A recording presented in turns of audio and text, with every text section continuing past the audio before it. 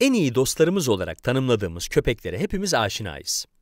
Köpeklere dair ilginç olan şey ise her ne kadar birbirlerinden farklı görünseler de aslında çevremizde gördüğümüz köpeklerin hepsinin aynı türün mensubu olmasıdır.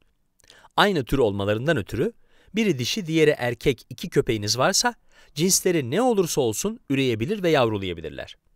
Söz konusu olan bu ve bu tür olursa işler biraz zorlaşabilir ancak yine de mümkündür.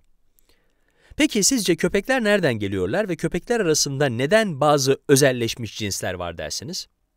Örneğin Rottweiler köpeklerin koruma içgüdülerinin yüksek olduğunu, Terrierlerin kemirgenlerin peşine düştüklerini, çoban köpeklerinin ise diğer hayvanları gütmede usta olduklarını biliyoruz. Bu türler yapay seçilim ve evcilleştirme sonucu ortaya çıkmıştır. Herhangi bir türün popülasyonunda varyasyonlar olduğunu biliyoruz. Doğal seçilim söz konusu olduğunda çevrenin bu varyantlardan bazılarını seçmesi de işin içine giriyor. Bahsi geçen varyantlar söz konusu türlerin hayatta kalmasını ya da üremesini kolaylaştıran özellikler. Sonuç olarak bu türler hayatta kalır ve evrim de bu şekilde ilerlemeye devam eder. Yapay seçilim ve evcilleştirme dediğimizde ise sahneye insanlar çıkıyor.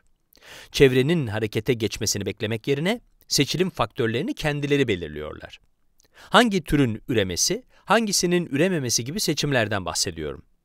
Yapay seçilim gerçekleştiğinde ise değişim çok ama çok daha hızlı gerçekleşir.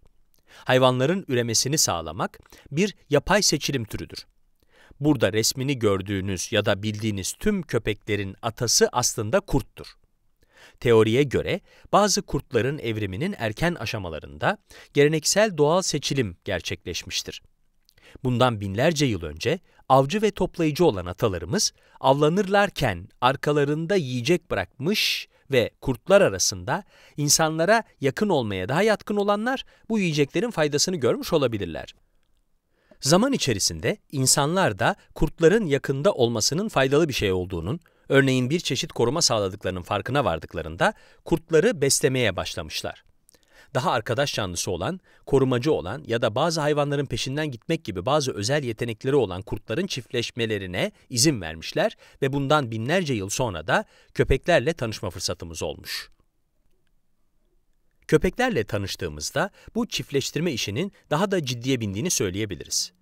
Az önce de söylediğim gibi çoban köpekleri, çobanlık yapan insanların uzun yıllar boyunca hayvanları gütme konusunda usta olan köpekleri çiftleştirmeleri sonucu ortaya çıkmış. Teriyerler ise kemirgenlerin peşinden gitmede usta olan köpeklerden geliyorlar. Koruma ve güvenlik sağlama konusunda usta olan köpeklerin çiftleşmesi sonucunda da Rottweiler köpek cinsi ortaya çıkmış. Bu noktada yapay seçilim ve evcilleştirmenin tek hedefi ya da ürününün köpekler olmadığını da eklemek istiyorum. Çiftliklerde görmeye alıştığımız hayvanların hemen hemen hepsi yapay seçilim ve evcilleştirme ürünü. Yaban domuzları buna benzerken çiftliklerdeki domuzlar buna benzerler. Ve bu domuzlar bakımları daha kolay olduğu için evcilleştirilmişlerdir. Yapay seçilim ve evcilleştirme sadece hayvanlara uyguladığımız yöntemler değil. Süpermarkette ya da pazarda gördüğünüz meyve ve sebzelerin hemen hemen hepsi yapay seçilim ve evcilleştirme ürünü.